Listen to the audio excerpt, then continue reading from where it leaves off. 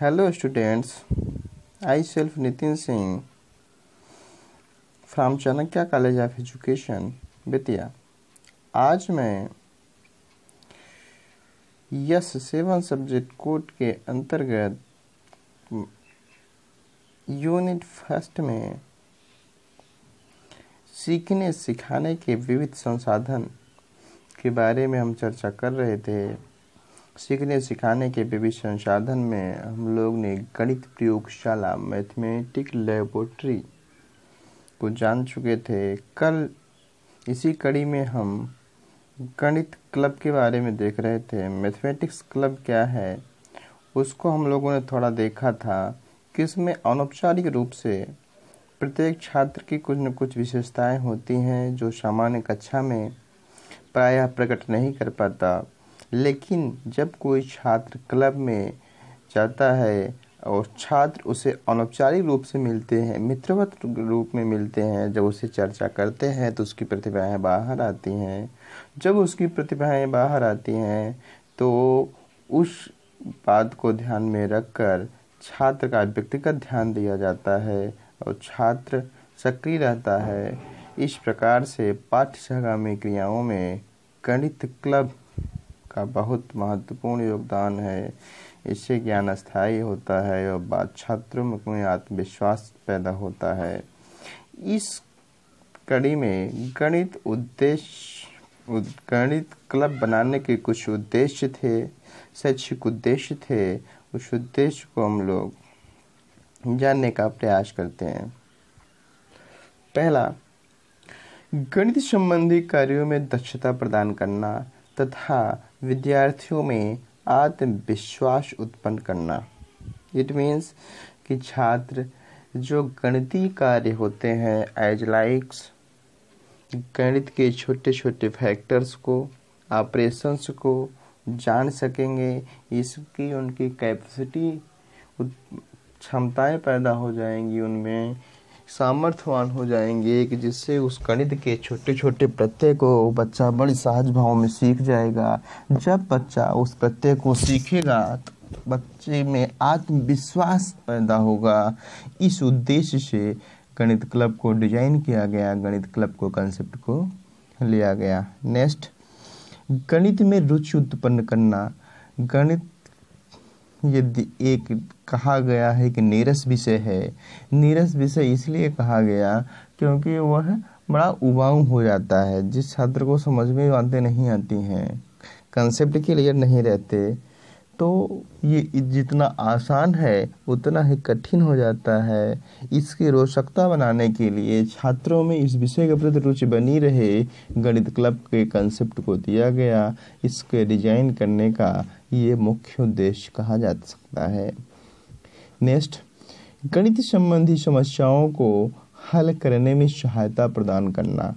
गणित की जो समस्याएँ होती हैं, उसको छात्र के व्यक्तिगत रूप से क्या समस्याएँ हैं? एक छात्र को किस कंसेप्ट पे कहाँ प्रॉब्लम हो रही है, इसमें भी सहायता प्रदान किया जाता है। इस उद्देश्य से गणित क्लब को डिज़ाइन किया गया। इसका उद्देश्य पहले ही बता दिया गया कि छात्र जब अच्छा जब हम कक्षा कक्षा में मिलते हैं, छात्र से तो औपचारिक रूप से मिलते हैं। लेकिन जब अनौपचारिक रूप से गणित क्लब में उसी बच्चे से मिलेंगे तो बच्चा संकोच नहीं करेगा और बड़ी सहज भाव में अपनी गलती कमियों को बताएगा और जब उसको निखारने का मौका मिलेगा, उसका सहयोग दिया जाएगा तो उसमें आत्मविश्वास की भावना डेवलप होगी। और वह गणित के जो प्रत्यय हैं कंसेप्ट हैं, उसको भी वह हल कर लेगा और उसको हल करने में उसकी सहायता मिलेगी। अपने हिजिटेशन को दूर करके उसको सीखने में मदद मिलेगा और सहायक हो जाएगा। नेक्स्ट पाठ्यक्रम में अतिरिक्त ज्ञान देने के लिए, गणित के पाठ्यक्रम में बच्चों को कुछ विशेष बातें ग्रहण कराने के लिए, कुछ विशेष ज्ञान देने के लिए, ज्ञानवर्धन देने के लिए, पाठ्यक्रम के अलावा अन्य सहगामी क्रियाओं के रूप में कुछ और सिखाने के लिए अतिरिक्त ज्ञान देने के उद्देश्य से गणित क्लब का निर्माण किया गया था। नेक्स्ट, छात्रों में सहयोग की भावना जागृत करने के लिए इस गणित क्लब को बनाया गया था। गणित क्लब में जब छात्र सामूहिक रूप से उसमें कार्य करते हैं, एक दूसरे से कोऑपरेट करते हैं, सहयोग करते हैं तो उसमें सहयोग की भावना डेवलप होती है, सहयोगी प्रवृत्ति का विकास होता है। इस उद्देश्य से छात्रों में सहयोगी प्रवृत्ति का विकास हो, इसलिए गणित क्लब को डिज़ाइन किया गया। ये इसके मेन उद्देश्य थे। आप इसको शार्ट स्क्रीन कर सकते हैं। चलिए, आगे चलते हैं। गणित क्लब में के कार्य। गणित क्लब के कार्य क्या क्या हैं? गणित क्लब में कैसे कैसे कार्य को रखा जाता है? किस किस कार्य को डिज़ाइन किया जाता है? देखते हैं। पहला, खाली समय व्यतीत करने हेतु तो कार्यक्रम बनाना। जब खाली समय हो, जब कक्षा कक्ष की गतिविधियाँ न हो पा रही हो सब खाली हो उस समय आप गणित क्लब में कुछ कार्यक्रम बना सकते हैं। उस कार्यक्रम में अपने उस निरर्थक खाली समय व्यतीत करके कुछ न कुछ छात्रों को सिखा सकते हैं, छात्रों को बता सकते हैं। अर्थात गणित क्लब का काम हुआ कि खाली समय जो उसका मिसयूज हो रहा है, उसका हम उपयोग नहीं कर पा रहे हैं। कोई न कोई प्रोग्राम कंस्ट्रक्ट करके डिज़ाइन करके हम उस गणित क्लब में अपने व्यवहारिक ज्ञान का परिचय छात्रों को रूबरू करा सकते नई समस्या का समाधान करने के लिए, नई समस्या को से अवगत कराने के लिए हम गणित क्लब पर कार्यक्रम बना सकते हैं। नेक्स्ट, औपचारिक रूप से शिक्षा प्रदान करने के केंद्र के रूप में कार्य करना। देखिए, औपचारिक रूप का मतलब जब हम कक्षा कक्ष में बच्चे को पढ़ाते हैं, एक औपचारिक रूप में जाते हैं। जब अनौपचारिक रूप में मतलब जहाँ पे कोई बाउंडेशन ना हो, जहाँ पे कोई निश्चित समय ना हो, निश्चित सीमा ना हो, निश्चित शिक्षक ना हो, जहाँ पे सब अनिश्चित हो, उस कंडीशन में अनौपचारिक रूप से भी हम शिक्षा प्रदान करने के केंद्र के रूप में भी गणित क्लब का उपयोग कर सकते हैं। गणित का क्लब का कार्य ही है कि हम वहाँ पे कक्षा कक्ष की जटिलताओं को कम कर देंगे वहाँ पे अनौपचारिक रूप से शिक्षण कार्य प्रदान करते हैं। उसका मुख्य सेंटर, मुख्य केंद्र ही है अनौपचारिक रूप से शिक्षा प्रदान करना होना चाहिए। नेक्स्ट। गणित क्लब के कार्यों को संकलित कर उचित स्थानों तक पहुंचाना। क्लब में जो जो कार्य, दक्ष कार्य दिए जाएँ, उस कार्य को एक सिस्टमेटिक वे में हम व्यवस्थित करके एक स्थान से दूसरे स्थान तक कैरी कर सकते हैं, पहुँचा सकते हैं।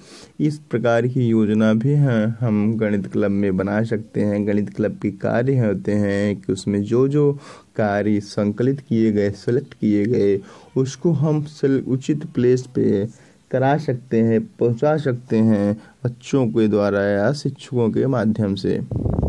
नेक्स्ट विभिन्न प्रकार के गणितीय कार्यक्रमों का आयोजन कराना, जैसे भाषण, निबंध, प्रश्न मंच और क्विक। क्विज का मतलब जो छोटे छोटे क्वेश्चंस होते हैं शॉर्ट फॉर्म में। इसे बच्चों को कराया जा सकता है।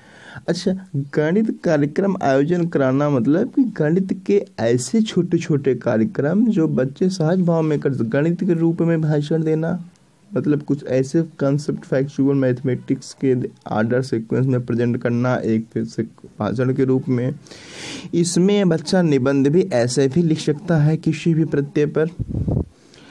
प्रश्न मंच बच्चों के दो को एक ही मंच पे दो ग्रुप बना करके एक ग्रुप के द्वारा प्रश्न पूछा जाएगा, दूसरा ग्रुप उसका निस्तारण करेगा, सेकंड ग्रुप प्रश्न पूछेगा, फ़र्स्ट ग्रुप निस्तारण करेगा। इस प्रकार से बच्चों में आपसी समझ के द्वारा इसके लिए भी तैयार किया सकता है, ऐसे कार्यक्रम भी कराए जा सकते हैं। क्विज कराना कि मतलब पाँच सेकंड में दस क्वेश्चन का समाधान करना या दस क्वेश्चन में इतने क्वेश्चन को बच्चों के लिए रूबरू करा देना या दो मिनट पाँच क्वेश्चन कराना, इस प्रकार के क्विज के रूप में भी बच, हम गणित के कार्यक्रम करा सकते हैं। ये सब कार्य गणित के रूप में भाषण देना, निबंध का कार्य, प्रश्न मंच और क्विज का कार्य हम गणित क्लब के अंतर्गत करते हैं। ये इसका मुख्य कार्य होता है। नेक्स्ट, गणित समाचारों को छात्रों में प्रसारित करना। गणित के जो फैक्चुअल्स न्यूज़ होते हैं फैक्ट्स होते हैं, उसको भी एक स्टूडेंट से दूसरे स्टूडेंट तक डिस्ट्रीब्यूट कराना, प्रसारित कराना, फैलाना, ये भी काम गणित क्लब के माध्यम से ही हो सकता है। गणित क्लब के माध्यम से भी किया जा सकता है कि हम गणितीय संबंधी जो निष्कर्ष निकाले गए, हमने जो गणित के तथ्य सीखा, उसको हम अपने दूसरे छात्रों तक कैसे हम प्रसारित कराएँगे, कैसे उस वहाँ तक तो पहुँचा पाएँगे, इसके लिए हम गणित समाचार पत्र का उपयोग कर सकते हैं या अन्य माध्यमों से हम उस न्यूज़ को प्रसारित करा सकते हैं। छात्रों में, समाज में, जिससे छात्र और समाज लाभान्वित हो सके। इसके कुछ संगठन हैं। गणित क्लब के संगठन के बारे में देखते हैं, कैसी संगठन है, कैसे ऑर्गेनाइज होते हैं गणित क्लब। जब कोई क्लब चलाने हैं तो उसमें कुछ नियम होते हैं। ज़ाहिर सी बात है, कोई भी क्लब चलाना होगा तो उसके कुछ न कुछ रूल्स रेगुलेशंस होते हैं।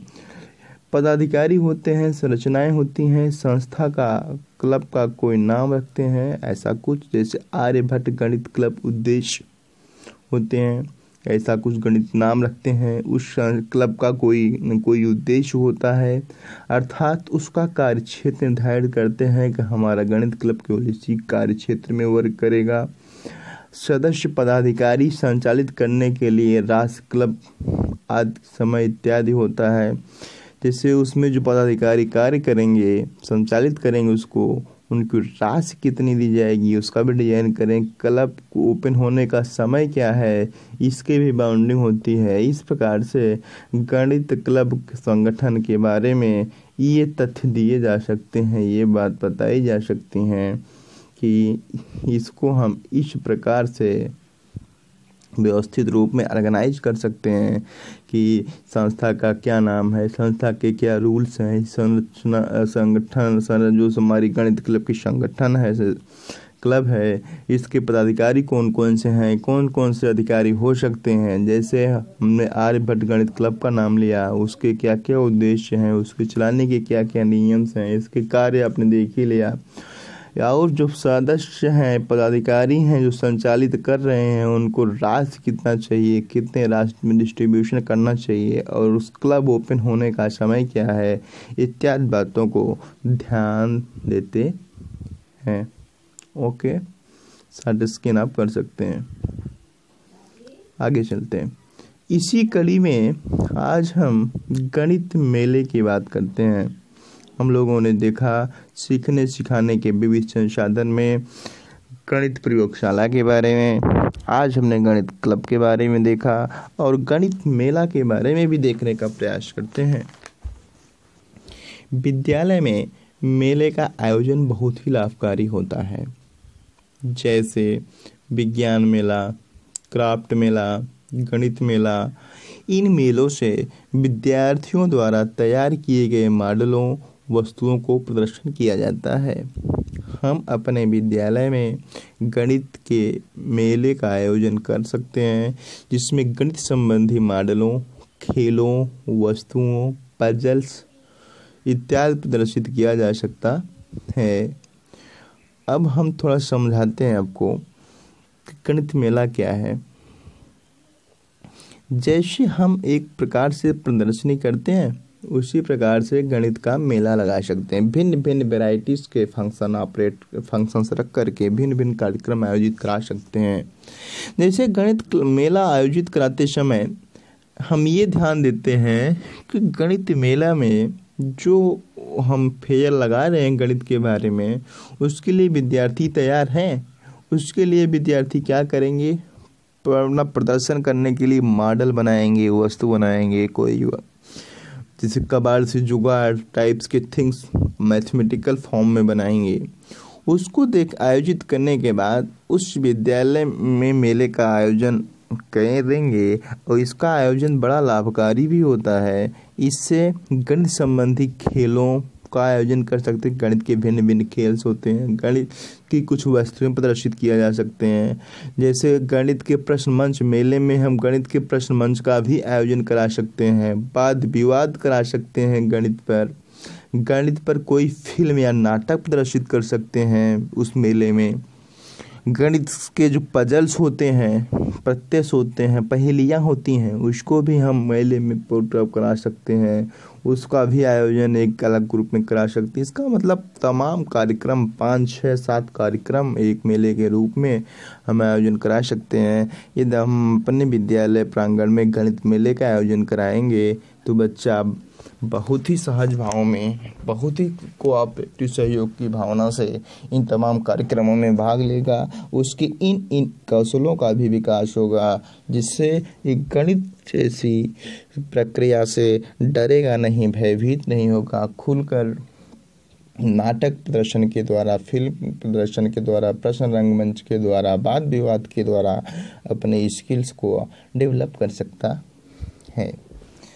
जिस प्रकार हमने गणित क्लब के उद्देश्य देखे थे, उसी प्रकार से गणित क्लब के, गणित मेला का भी उद्देश्य देखेंगे।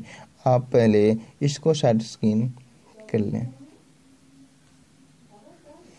चलिए, आगे चलते गणित मेले की उद्देश्य। गणित मेले की क्या उद्देश्य है? गणित मेला में से उद्देश्य जैसे क्लब का था कि छात्रों में गणित के प्रति रुचि उत्पन्न करना। हम गणित के कितने भी कार्यक्रम बनाएँगे, प्रदर्शनी बनाएँगे लेबोरेटरी बनाएँगे, मेला बनाएँगे फेयर बनाएँगे क्लब बनाएँगे तो उसका प्रथम उद्देश्य यही रहेगा छात्रों में गणित के प्रति रुचि उत्पन्न करना। छात्र में गणित के प्रति रुचि ही नहीं रहेगा, उस कार्यक्रम का कोई औचित्य ही नहीं है। इसलिए पहला ही कार्यक्रम कि हम उसमें क्या करें, बच्चे को इंटरेस्टेड बना दें, बच्चा इंटरेस्ट हो जाए मेला में, गणित के में, इसलिए हम उस मेले का आयोजन करेंगे।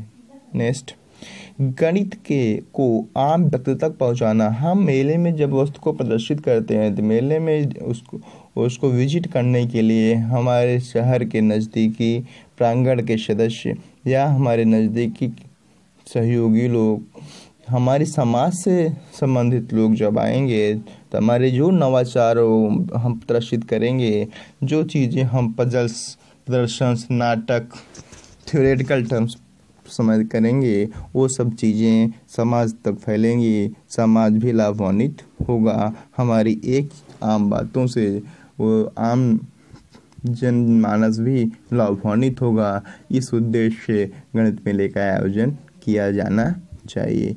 नवाचार को प्रोत्साहित करना। नवाचार का मतलब हमने नई टेक्नोलॉजी का क्या विकास किया? मेले में ये भी दिखाने का प्रयास करेंगे। प्रोजेक्टर स्लाइड का प्रयोग डैश का प्रयोग, स्लाइस मार्कर्स का प्रयोग, डिजिटल क्लास सेटअप की व्यवस्थाएँ।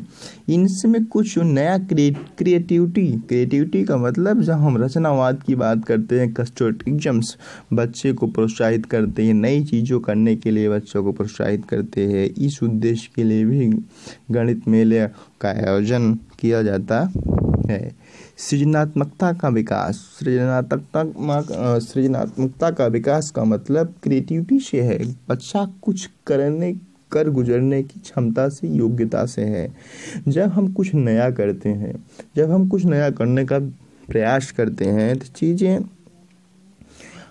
उसके लिए कितनी कठिनाई आती हैं, क्या समस्याएँ आती हैं क्या क्या विचार आते हैं किसी कार्य को करने के लिए, उस प्रकार से हम मेले का आयोजन करते हैं। छात्रों में, समाज के व्यक्तियों में कुछ सृजनात्मक शक्ति का विकास हो, छात्रों में सृजनशील शक्ति का विकास हो, जिसकी हेल्प से समाज में उन्नयन अवनत का कार्य भी कर सकें। नेक्स्ट छात्र कौशलों का विकास। कौशलों का विकास कोई भी शिक्षक चाहता है कि हमारे जो स्टूडेंट्स हैं, उसमें भिन्न भिन्न स्किल्स का विकास हो। जब हमारे छात्रों में भिन्न भिन्न स्किल्स का विकास हो, इसके लिए हम गणित मेले के उद्देश्य में रख सकते हैं, बनाते हैं कि अन्य, अनेक कौशलों में विकास करने के लिए हम छात्रों जैसे गणित के नाटक के प्रति हमने बताया, गणित वाद विवाद मंच, वाद विवाद प्रश्न प्रतियोगिता मंच, प्रश्न मंच की बात बताया, प्रदर्शन विधि बताया पजल, गणित के पजल्स ये सब जो स्किल्स होते हैं, इसका इम्पॉर्टेंस होता है इस मेले, गणित मेले के आयोजन से छात्रों में ये सब क्षमताओं का विकास किया जा सके। नेक्स्ट गणित मेलों का आयोजन। आज हम इसी कड़ी में गणित मेलों का आयोजन या गणित मेलों का महत्व क्या है इसकी बात देखते हैं। इसका इम्पॉर्टेंस क्या होता है? छात्रों में सृजन शक्ति का विकास होता है। सृजनात्मकता का विकास होने का मतलब बच्चा कुछ सोचने की नए नई चीज़ों को विचार करने की स्किल्स का विकास कर सकता है गणित मेले से। गणित मेले का ये सबसे बड़ा इम्पोर्टेंस है। इम्पोर्टेंस हमको फ़ायदा मिलता है कि बच्चा क्रिएटिविटी हो जाता है। नई क्रिएटिविटी माइंड होने का मतलब कि नई नई चीज़ों को सोचने की सामर्थ्य शक्तियाँ उसमें विद्यमान हो जाती हैं, विकसित हो जाती हैं। यह अत्यंत ही आवश्यक होता। प्रतिभाओं को प्रोत्साहन व सम्मान मिलता है। मेले में, गणित मेले के द्वारा हम देखते हैं कि हमारे जो छात्र होते हैं, प्रदर्शन करने भिन्न वस्तुओं को बना करके क्रिएट सृजनशीलता के द्वारा, सृजनशीलता के द्वारा प्रदर्शित करते हैं। उससे उनकी प्रतिभा का प्रोत्साहन मिलता है। और समाज में, समाज के लोग जब मेले में देखते हैं तो बच्चा बहुत खुशी, हर्षोल्लास होता है। इसलिए उसको सम्मान भी मिलता है। अब उसको अपने प्रतिभा का प्रोत्साहन और सम्मान मिलता है। इसलिए गणित मेले का इम्पॉर्टेंस एक बच्चे के लिए एक अच्छा कच्च से बाहर, या कॉलेज के लिए, विद्यालय के विद्यार्थियों के लिए बढ़ जाता है।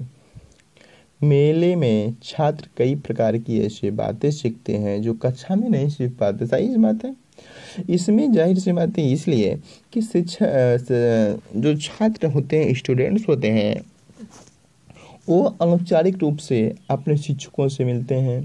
अनौपचारिक रूप से अपने विद्यार्थियों से भी मिलते हैं। इस कड़ी में जब हम अनौपचारिक रूप से, बिना किसी बंधन के, भय से, डर से मुक्त वातावरण में जब हम अपनी समस्या को रखेंगे, उससे जो हमारे पास शक्ति होगी, जो स्किल्स होगी, तर्क शक्ति होगी लॉजिकल पावर होगा, दर्शन शास्त्र होगा, उससे जो हमारे स्किल्स सोल्यूशन उसके निकलेंगे, समाधान समस्या का निकलेगा तो वो हमारी क्रिया सृजनशील विचार होंगे, जो हमारी नई सृजनशील शक्ति का विकास होगा। ये जो क्रिएटिव नई सृजनशील शक्ति का विकास हुआ, ये किसी कक्षा कक्ष में नहीं पाया जा सकता। अर्थात ये चीज़ें बाहर प्रांगण में मेले के द्वारा ही बच्चा प्रदर्शित कर सकता है, इसलिए मेले का इम्पोर्टेंस बढ़ जाता है। प्रतिभाओं की खोज भी होती है। हम कक्षा कक्ष में ये नहीं जान पाते कि हमारे छात्रों में क्या योग्यताएँ हैं, लेकिन इसके माध्यम से हम जान जाते हैं। हम जान जाते हैं कि उनमें प्रतिभाओं की खोज हो गई गणित आम व्यक्तियों में लोकप्रिय होती है। इसका इम्पॉर्टेंस ये भी है कि गणित आम व्यक्तियों में लोकप्रिय भी होती है। इस प्रकार से यह गणित मेले का महत्व होता है इम्पॉर्टेंस होता है। इसके लिए हम गणित मेले का आयोजन कर सकते मेले का आयोजन कैसे करते हैं? दो लाइन में देखते हैं। मेले का आयोजन हम विद्यालय में वर्ष में एक बार गणती मेले का आयोजन किया जा सकता है। इसके लिए पूरी योजना बनाकर कार्य विभाजन किया जाना चाहिए, फिर योजना को लागू करना चाहिए, विभिन्न कार्यक्रमों जैसे निष्पक्ष निर्णय लेने हेतु कमेटी का गठन करना चाहिए, आयोजनों के पश्चात उसकी समीक्षा की जानी चाहिए। ये इंपॉर्टेंट होता है कि कोई भी कार्यक्रम जब ऑर्गेनाइज करते हैं तो उसकी समीक्षा करना अत्यंत आवश्यक होता है। बिना समीक्षा के उसकी कमियों उसके फ़ायदों उस नुकसान को भरपाई हम नहीं जान पाते नहीं कर पाते। इसलिए यदि हम अपने विद्यालय में गणित मेले का आयोजन करा रहे हैं तो उसका पूरा निष्पक्ष योजना पूरी बनानी चाहिए और निष्पक्ष योजना बना करके छात्रों को विभाजित कर देना चाहिए कि ये वर्ग, ये ग्रुप, ये कार्य करेगा, ये वर्ग, ये ग्रुप, ये कार्य करेगा। छात्रों के अलग अलग ग्रुप के द्वारा अलग अलग कार्यों का विभाजन कर देना चाहिए, किया जाना चाहिए। इससे क्या होगा कि जो हमारा कार्यक्रम होगा, निष्पक्ष बनेगा। उसके लिए अलग अलग कमेटी बनानी चाहिए। उस कमेटी को आयोजन के पश्चात जब मेला का कार्यक्रम ख़त्म हो जाए तो उसकी समीक्षा की जानी चाहिए। इससे हमारी कमियों को निकालने का मौका मिलता है और हम मेले को और बेहतर अगले वर्ष के लिए बना सकते हैं। वैल्यूएबल फीडबैक दे सकते हैं अपने कार्यक्रम को और मोटिवेट करने के लिए और अच्छा ऑर्गेनाइज करने के लिए। थैंक यू क्लास आज के लिए बस इतना ही।